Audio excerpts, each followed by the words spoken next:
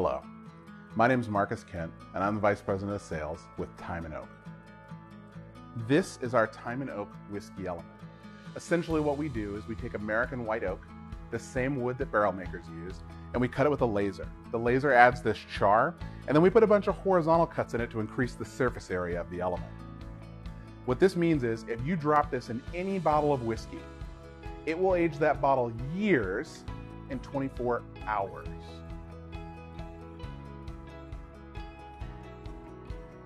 I can go out and I can get a bottom shelf bottle of whiskey.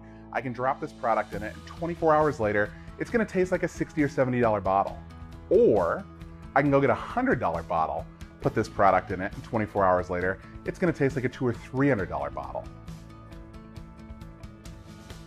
What we do is we put the barrel in the bottle.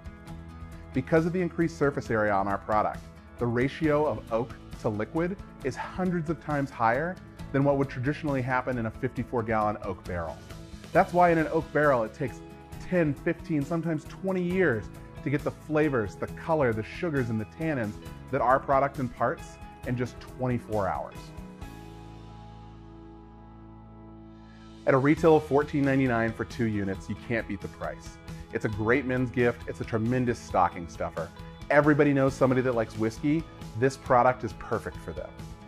Remember, at Time and Oak, we make better whiskey in 24 hours.